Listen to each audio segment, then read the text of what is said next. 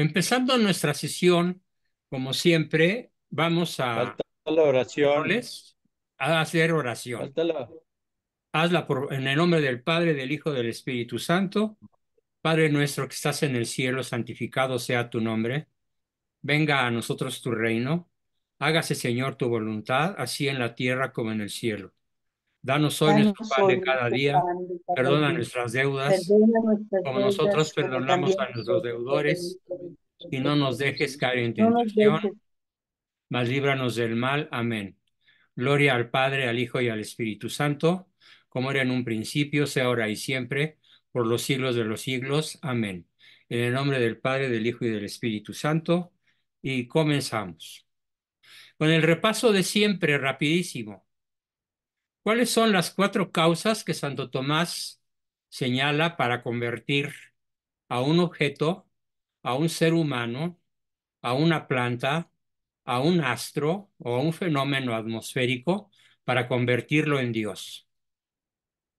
Bueno, el primero que señala es la flaqueza del entendimiento humano, porque los hombres de entendimiento bajo son incapaces de elevarse por encima de los seres corporales y no creen en los seres superiores de características eh, estrictamente espirituales. Como nada más conocen lo material, al sol, la luna y las bóvedas celestiales, las califican como llenas de dioses por la flaqueza humana. En segundo lugar, Santo Tomás nos señala que la multiplicidad de dioses o Em, politeísta, el politeísmo, proviene de la adulación que le dan los hombres a alguien. Algunos queriendo adular a los poderosos y a los reyes, les tributaron un honor debido a Dios, obedeciéndolos y sujetándoseles. Queridos amigos, es el caso de México. La adulación que provoca y exige el peje de todos los mexicanos y en la cual han caído cuando menos el 70%, prefiriendo adular a los poderosos y en este caso a los mal llamados presidentes, porque este no debería llamarse presidente, debería llamarse emperador, debería llamarse Kaiser o caudillo o, o jefe máximo o tirano o dictador pero no merece el nombre de presidente, porque él ha logrado que una inmensa mayoría de mexicanos lo obedezcan y se le sujeten, y aquí viene lo peor, lo adoren. A mí no me lo contaron. Yo vi en la Catedral de México cómo a las puertas de la catedral hay una especie de capilluta, de capillita, donde venden unos folletos que se llaman San Amlito. San Amlito. Y ya tienen un culto de oración, tienen un culto para pedirle cosas, tienen un culto para tratarlo como si fuera Dios. Y por eso, porque son ignorantes y de mente débil, y es muy fácil adular, tendrían que leer el párrafo de, de Judith, donde exclama, sepan todas las naciones que Nabucodonosor es el Dios de la tierra y que no hay otro fuera de él. Pues aquí nada más cambiamos Nabucodonosor por Andrés Manuel López Obrador, por Manuel Andrés López Obrador, es el Dios de México y no hay otro fuera de él. Literalmente, todavía vuelvo al repaso, todo esto Santo Tomás lo califica como una imbecilitas, imbecilidad, flaqueza o debilidad del entendimiento. O sea, estamos en un país de débiles mentales, de chairos, débiles mentales, analfabestias, flacos de la mente,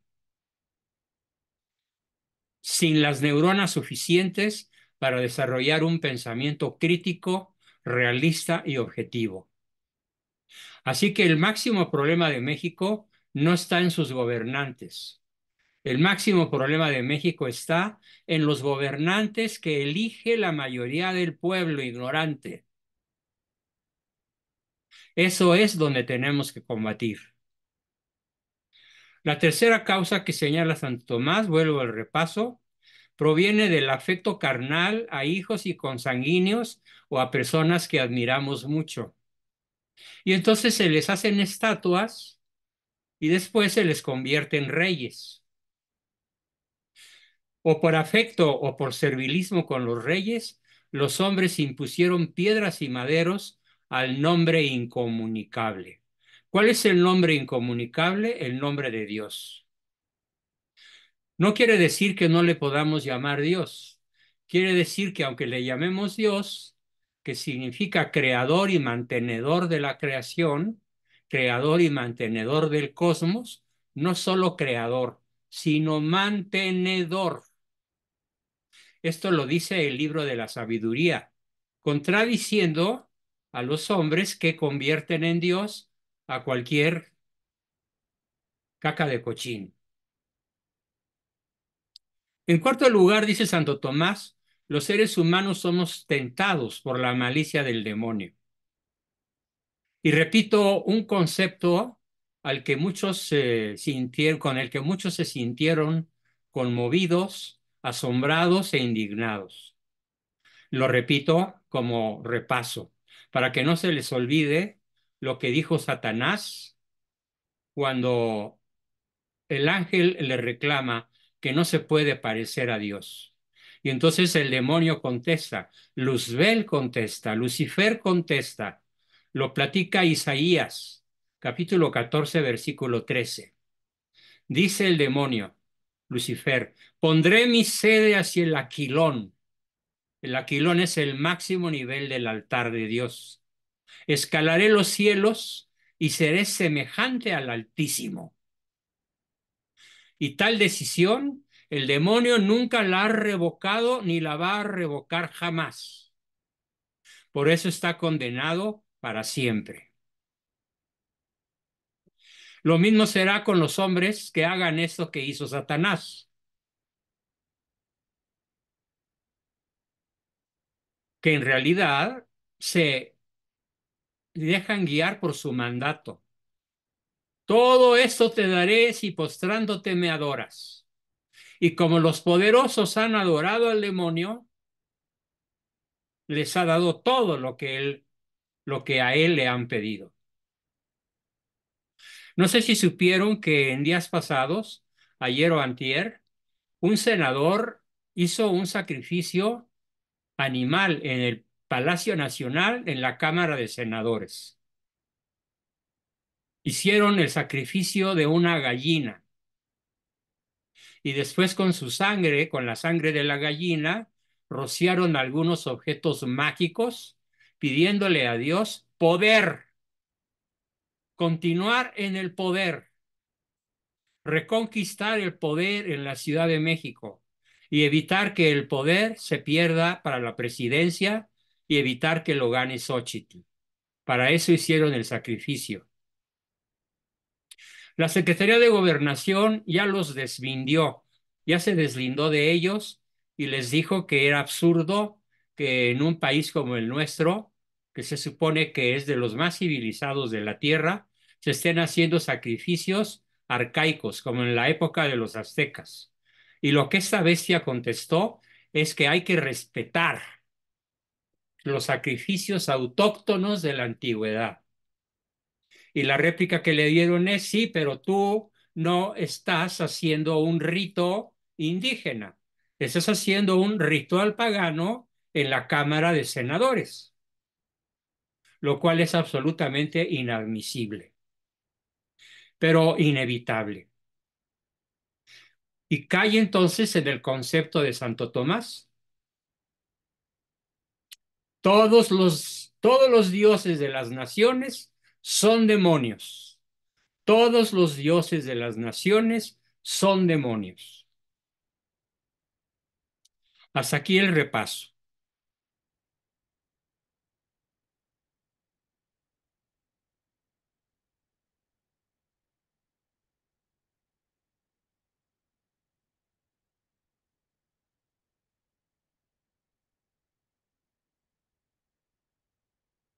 Comenzando con nuestra sesión de hoy con un tema nuevo, nos dice el libro de la sabiduría, algo muy, muy importante. Van, vanos, vanos de vanidad, vanos, son todos los hombres que ignoraron a Dios y no fueron capaces de conocer por los bienes visibles a aquel que es, ni atendiendo a las obras, reconocieron al artífice de las obras. Y más abajo, pues por la grandeza y hermosura de las criaturas se puede, por analogía, contemplar a su creador. Así es, por la grandeza y hermosura de las criaturas se puede, por analogía, contemplar a su creador. Voy a poner un ejemplo real. Por fortuna, Dios nos regaló a mi esposa y a mí un terreno que pudimos convertir juntito a la casa, un terreno que podemos tratar como nuestro, aunque no lo sea, por concesión del municipio de Huizquilucan. Son 400 metros cuadrados que hemos convertido en un vergel.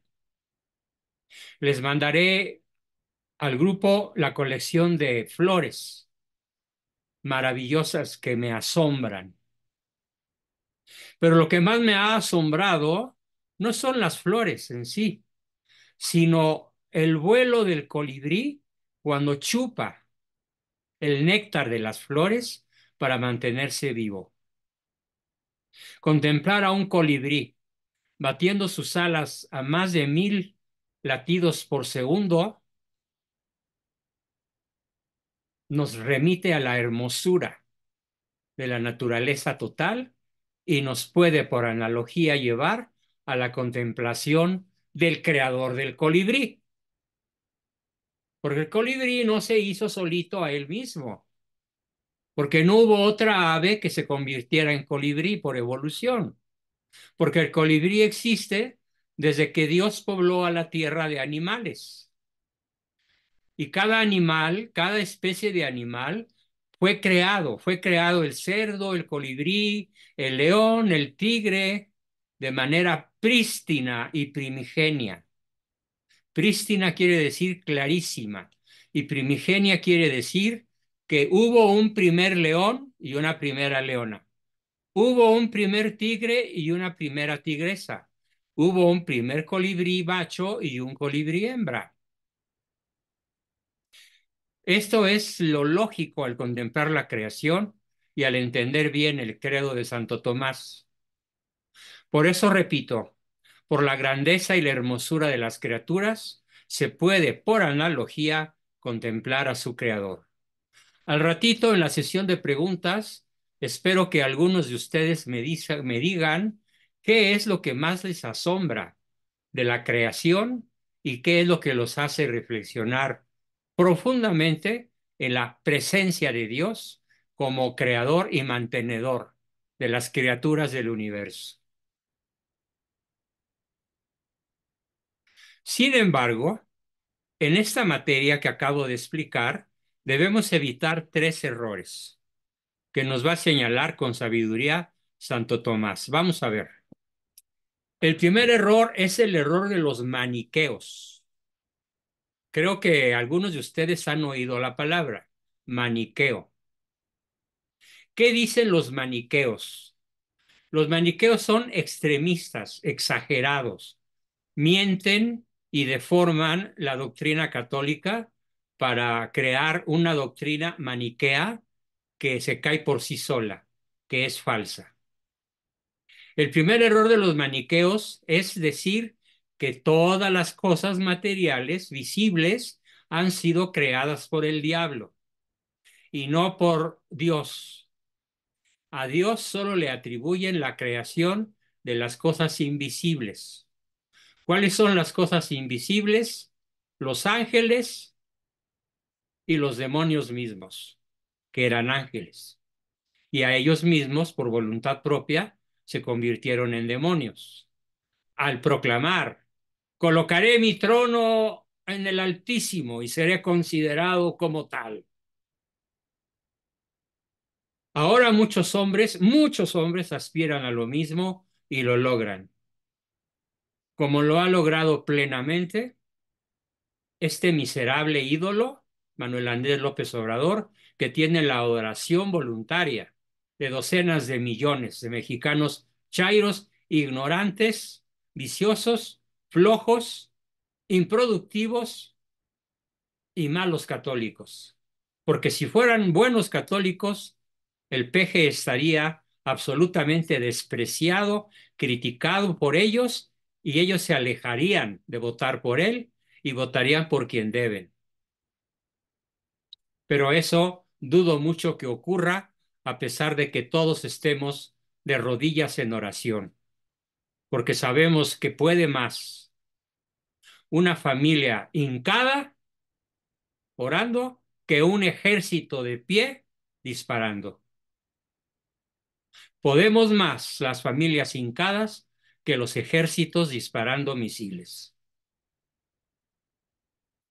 La causa de este error tan grave de atribuirle al demonio todo lo creado materialmente es que afirman que Dios es el sumo bien y que todas las cosas que provienen del bien son buenas, pero no sabiendo discernir qué cosa sea mala y qué cosa sea buena, creyeron que todas aquellas cosas que de cierta manera son malas son pura y simplemente malas. Y así, según ellos, el fuego porque quema es totalmente malo y el agua que ahoga es totalmente mala y así por el estilo. Llegan los maniqueos al absurdo.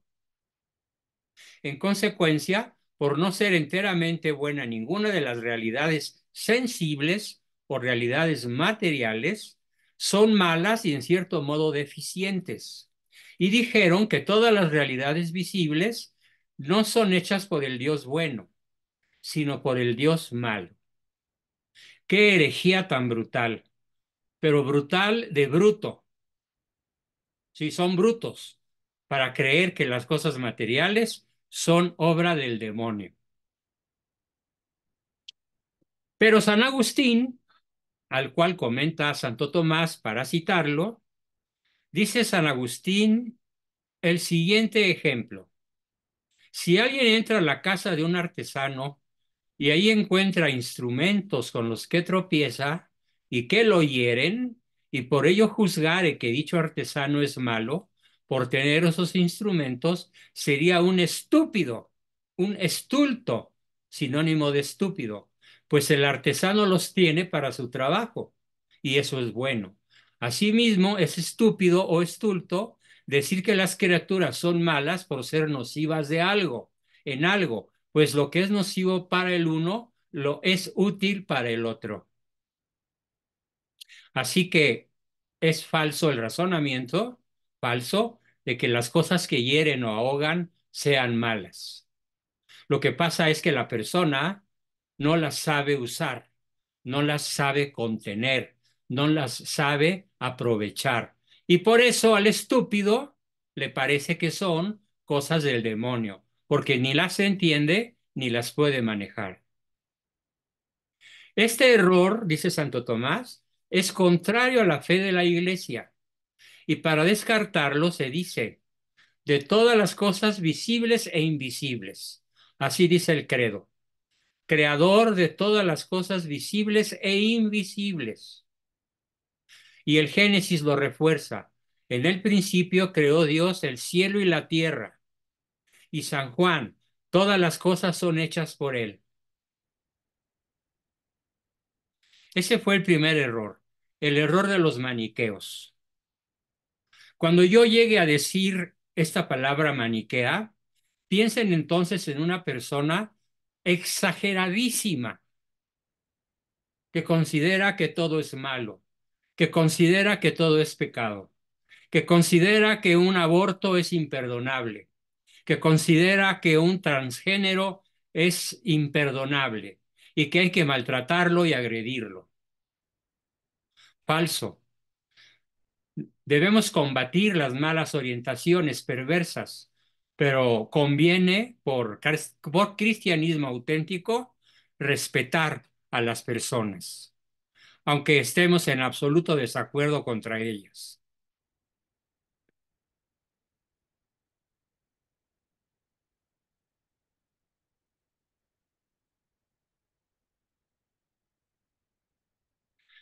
Vale la pena leerles ahorita un comentario de José Barahona sobre el tema. Gracias, José, te felicito. Dice José Barahona, somos imágenes de nuestro Padre, porque tenemos inteligencia y podemos aprender, y a través de la realidad creada, aprender esa belleza de la creación, poder tocar la sublimidad y, como dice usted, profesor, admirarnos de estos regalos y agradecer y adorar al Todopoderoso que hizo todo sin tener que hacerlo. Por su gran amor y bondad, a través de esta ventana del alma, nos volvemos uno con el otro en su inmensa sapiencia y todo poder. El regalo de Dios es su creación y nosotros los que podemos apreciarla. Muy bien, José, excelente. Bueno, continuamos.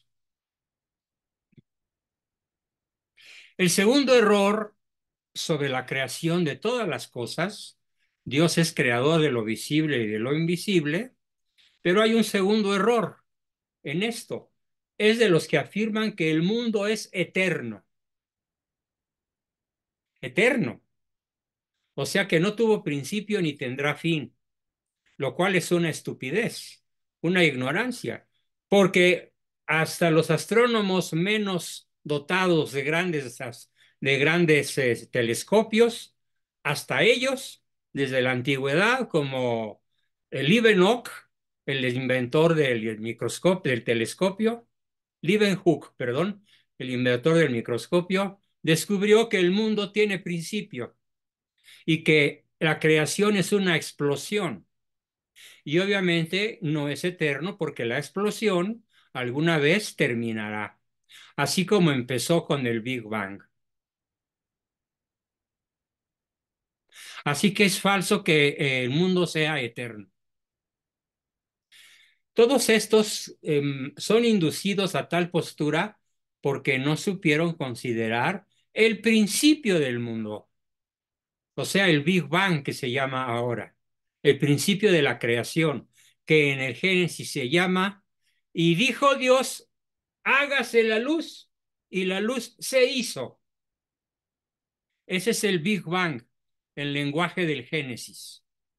El Big Bang, el lenguaje científico actual, es el mundo, el universo comenzó con una gran explosión que tiene ya 14 mil millones de años en expansión y alguna vez esta explosión terminará. Pero no te preocupes, eso va a ocurrir dentro de cientos de miles de millones de años.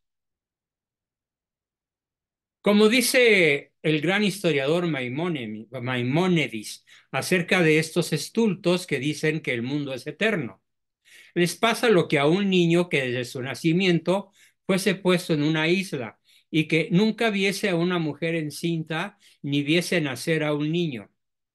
Si a este niño se le dijera, siendo ya grande, cómo es concebido el hombre llevado en el seno y cómo nace, no creería nada de lo que se le dijera, porque le parecería imposible que el hombre pudiese existir en el seno materno. De la misma manera, estos hombres, considerando el estado del mundo presente, no creen que haya tenido comienzo. Pues qué estupidez. Porque también esto va contra la fe de la iglesia. Y vamos a descartar ese segundo error, diciendo, creador del cielo y de la tierra. Y si fueron hechos, es claro que no siempre existieron, por lo cual no son eternos. Dios mandó que fueran creadas y ellas fueron creadas. En latín, dixit et facta sunt. Formidable sintético idioma. Dixit et facta sunt. Lo dijo y se hicieron. Traducción del Dixit et pacta sunt. Lo dijo y se hicieron. Dios mandó y todas ellas fueron creadas. Así que es falso, desde el punto de vista de la fe católica y del sentido común, que el mundo sea eterno porque tuvo un comienzo y eso lo hace no eterno. El tercer error es de los que afirman que Dios hizo el mundo de una materia preexistente. O sea que hizo el mundo, hizo la creación de una sustancia que ya existía. No pasa de ser una anécdota divertida. A esto, estos idiotas, dice Santo Tomás, fueron, no digo yo, ¿eh? así tal cual lo escribió Santo Tomás, estos idiotas fueron llevados así porque quisieron medir el poder de Dios conforme a nuestra capacidad. Y como el hombre nada puede hacer sino de alguna manera, sino de alguna materia preexistente, creyeron que también así es Dios. En efecto, lo explico. Nosotros para crear algo no podemos hacerlo de la nada. Tenemos que hacerlo de una manera preexistente. Y entonces estos idiotas quisieron medir el poder de Dios conforme a nuestra capacidad. Y como el hombre nada puede hacer sino de alguna manera preexistente, creyeron que también así es Dios, por lo cual dijeron que para la producción de los seres contó él con una materia preexistente. Pero esto no es la verdad. En efecto, nada puede hacer el hombre sin una materia preexistente, porque él es una causa parcial.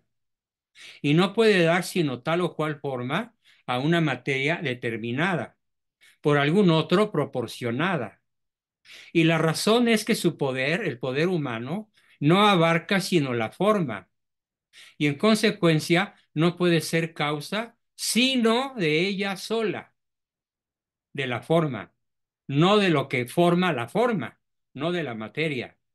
El hombre no pudo hacer la materia, ni preexistente ni actual. Pero Dios, en cambio, es la causa universal de todas las cosas y no crea solo la forma, sino también la materia. Así es que de la nada, de la nada, lo hizo todo. Por lo cual, para descartar este tercer error, se dice creador del cielo y de la tierra. Así que creer y hacer difieren en que crear, así que crear y hacer difieren en que crear es hacer algo de la nada y hacer es producir algo de cierta cosa. Entonces nosotros no creamos nada, no creamos la vida porque nos valemos de una sustancia preexistente. ¿Cuál es la sustancia preexistente para hacer la vida?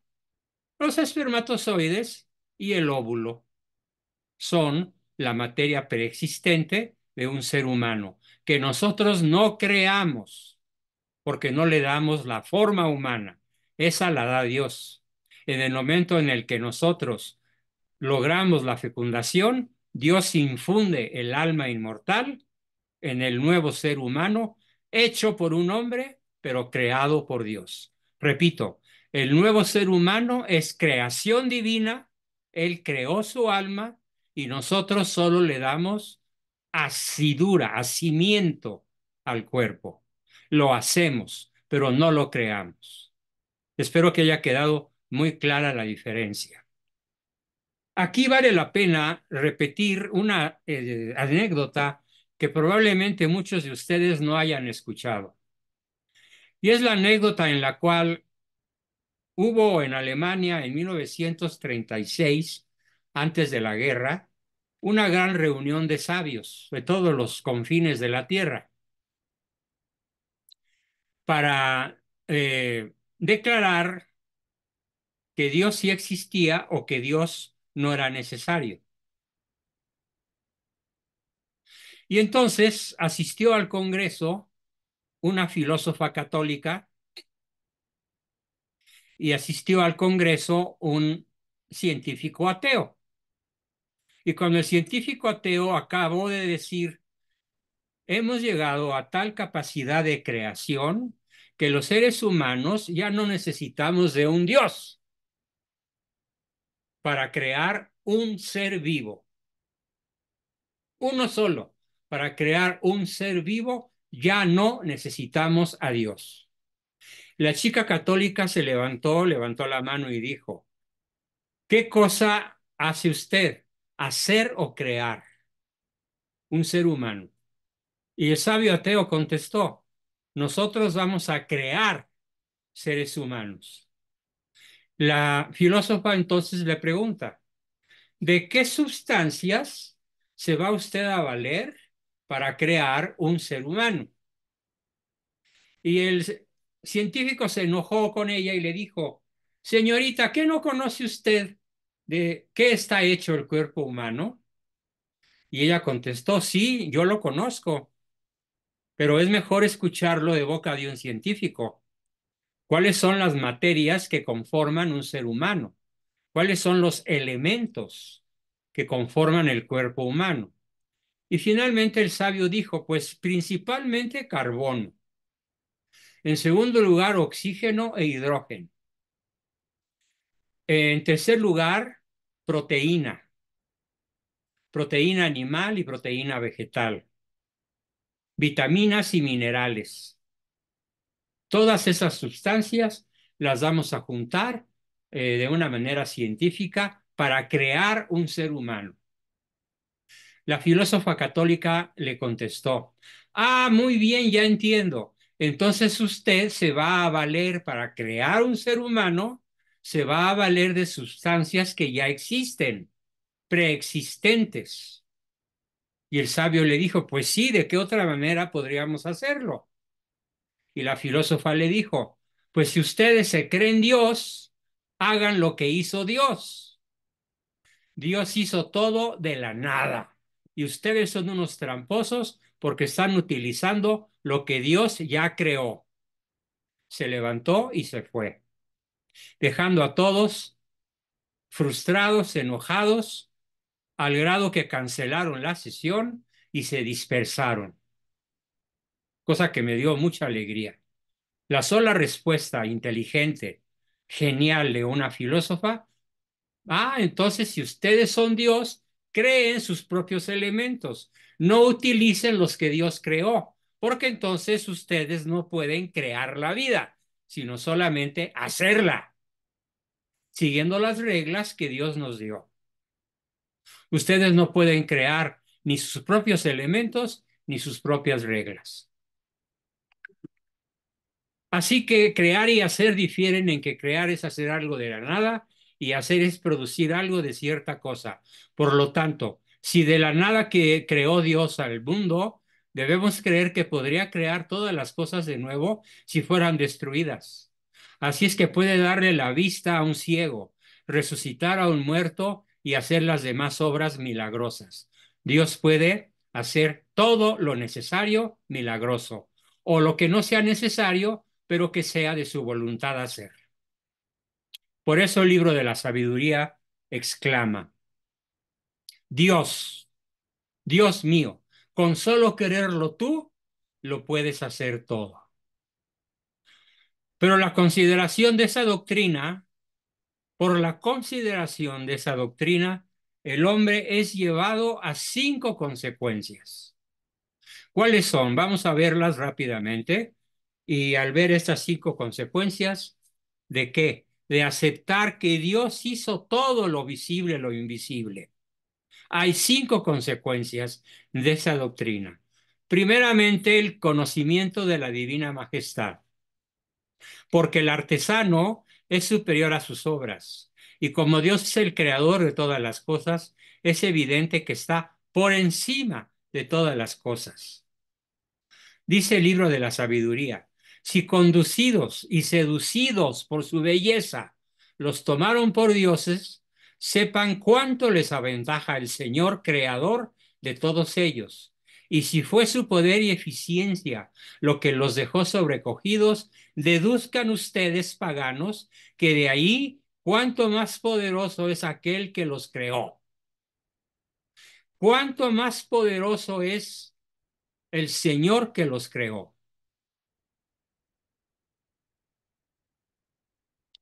Por lo cual, cuando podamos entender y pensar, entonces vamos a reconocernos como inferiores a Dios.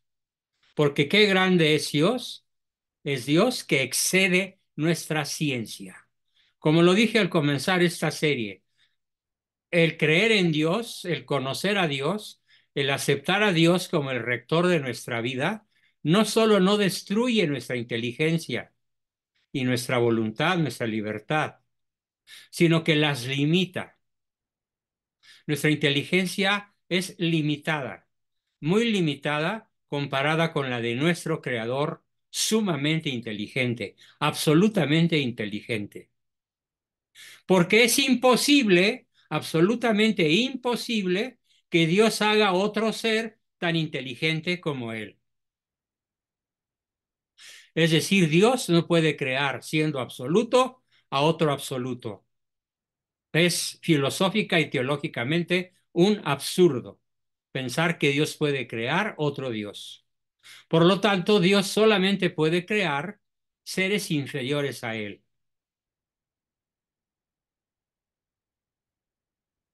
En segundo lugar, dice Santo Tomás, esto nos lleva a la acción de gracias. El primero, lo repito, nos lleva al conocimiento de su divina majestad, el gran artífice, el gran creador. Pero en segundo lugar, esto lleva, nos lleva a la acción de gracias. Sí, caray. Cuando yo digo esto, me conmueven todas las tripas, el corazón y las entrañas pensar que debo ser, conviene que sea yo siempre las 24 horas del día, a pesar de que me pasé seis noches en blanco sin poder dormir. En esas noches en blanco y sin poder dormir, proclamaba la bondad y la sabiduría de Dios, reconociendo que yo no sabía por qué me había robado el don del sueño. Pero de todas maneras, esto me llevó a la acción de gracias. Señor, gracias porque me estás probando. No voy a dejar de trabajar un solo día, aunque sea lo estrictamente necesario, porque no quiero que el demonio me venza en la comodidad y la derrota, sino que tú me ayudes a triunfar a pesar de mis limitaciones físicas y neurológicas de estos días. Ayúdame a proclamarte. Y así fue. La acción de gracias continua me dio fuerzas para decir, doy la sesión, y doy la sesión, y la vuelvo a dar. Aunque no haya dormido en 48, en 72 o en 124 horas, la voy a dar. Y así fue. Como una acción de gracias a Dios. Invito a todos a hacer lo mismo, sobre todo en la tragedia, en la desgracia, en las adversidades, así como lo hacía Job. Gracias Señor, tú me lo diste, tú me lo quitaste, hágase tu divina voluntad. Y Job fue retribuido al ciento por uno, al ciento por uno, estando todavía joven y sano, le regresó todo Dios multiplicado por lo que ya tenía, enormemente multiplicado porque fue capaz de demostrar su lealtad, su fidelidad y su amor a Dios en medio de la absoluta pobreza, donde no tenía más que bellotas de cerdos para medio comer. Dice San Pablo sobre esto. ¿Qué cosa tienes que no la hayas recibido de Dios?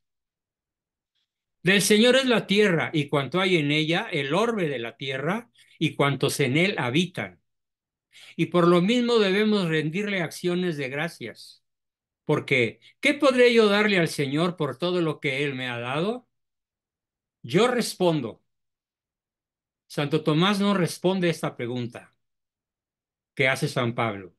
Yo la respondo como una contribución a ustedes, a mi grupo querido, a cada uno de ustedes.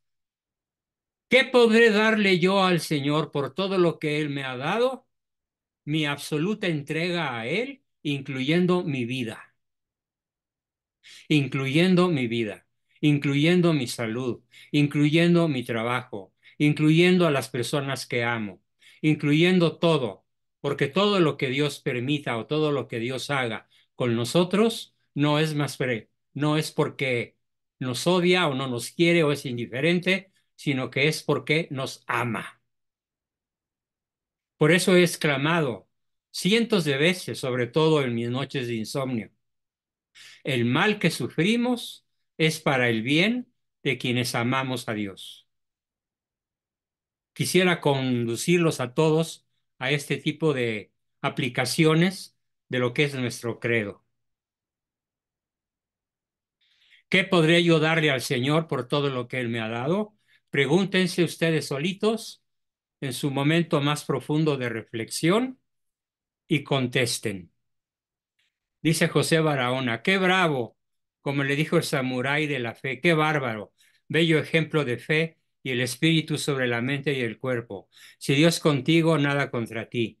Ese es el amor del bueno, amar en la desgracia. Amén. Gracias, Pepe, me alientan mucho tus palabras. Mucho me alientan.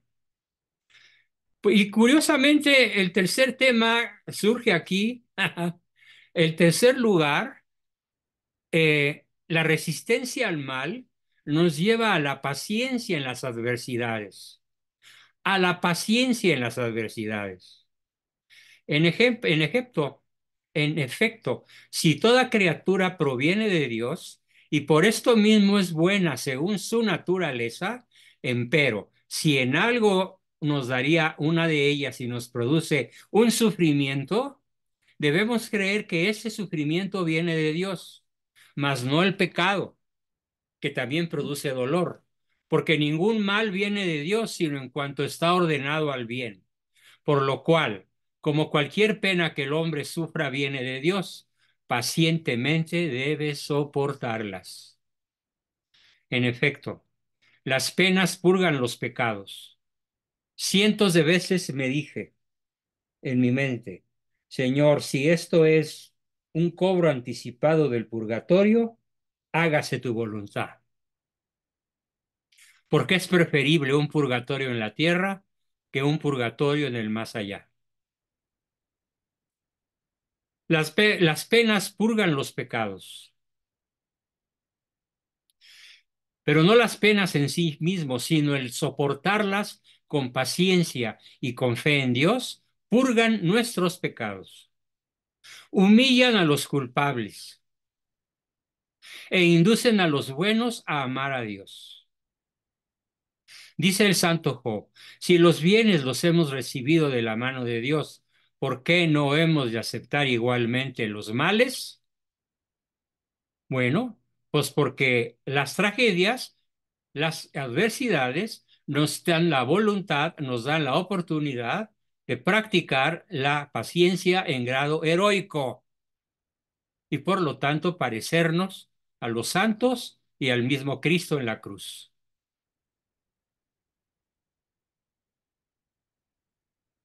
Dice Santo Tomás un cuarto tema que voy a tratar para no dejar inconclusa la sesión, aunque se alargue unos minutos. En cuarto lugar, somos llevados a usar rectamente de las cosas creadas. En efecto, de las criaturas debemos usar para aquello para lo que fueron creadas por Dios. Así que voy a poner un ejemplo muy ofensivo y muy burdo. El pene no debe ser utilizado para introducirlo en un falso coito rectal, porque el recto no se hizo para la absorción del pene y el pene no se hizo para su colocación en el ano, en la zona de expulsión de nuestras mm, porquerías. El pene se hizo para depositarlo con todo y su semen en el vientre materno en la matriz de una mujer con la esperanza o cuando menos con la aceptación de una probable vida nueva. Por eso debemos usar aquello para lo cual las cosas fueron creadas. Ahora bien, fueron hechas con un doble propósito, para la gloria de Dios porque el Señor ha hecho todas las cosas en atención a Él mismo esto es para su gloria, como dice Proverbios 16, y para nuestro provecho. Dice el Deuteronomio, el Señor tu Dios las hizo para el provecho de todas las gentes, de todas las gentes. Por lo tanto, debemos usar de las cosas para la gloria de Dios, o sea, para que al usarlas agrademos a Dios y para nuestro provecho, o sea, de modo que al usarlas no cometamos pecado. A mí me ha detenido la comisión de pecados infinidad de veces la conciencia de que Dios no, a Dios no lo estoy agradando. A Dios no lo estoy agradando. Cuando busco pornografía en la computadora, cuando ofendo a mi prójimo con mis descalificaciones, cuando no estudio lo que me corresponde estudiar, cuando no aprendo lo que me conviene aprender sobre mi fe.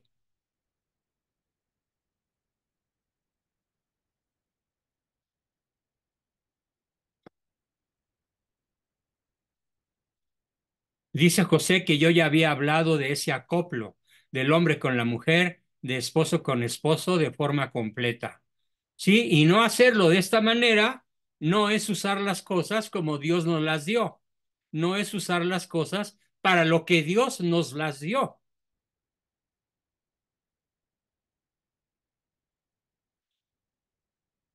Así es que cuando tengas o ciencia o belleza, todo debes referirlo y usarlo para la gloria de Dios.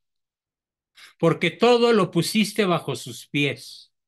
Y entre las criaturas el hombre es, después de los ángeles, la más semejante a Dios. Por lo cual dice el Génesis, hagamos al hombre a nuestra imagen y semejanza. Y no lo dijo del cielo ni de las estrellas, sino del hombre, pero no en cuanto al cuerpo, sino en cuanto al alma, que goza de una voluntad libre y que es incorruptible el alma, que es con lo que se asemeja a Dios más que con las otras criaturas.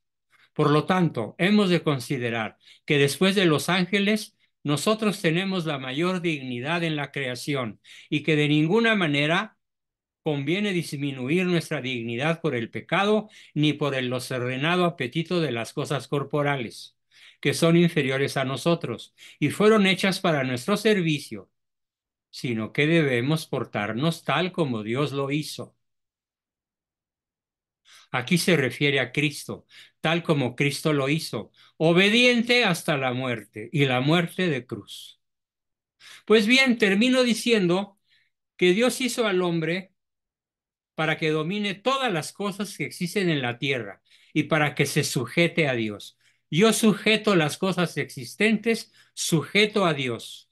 Y por lo tanto, debemos dominar y someter las cosas, pero debemos y conviene sujetarnos a Dios, obedecerlo y servirlo. Y de esto pasaremos a otro tema que veremos la próxima sesión, que es la fruición de Dios. El apetito por disfrutar con fruición, con delicia, con pasión,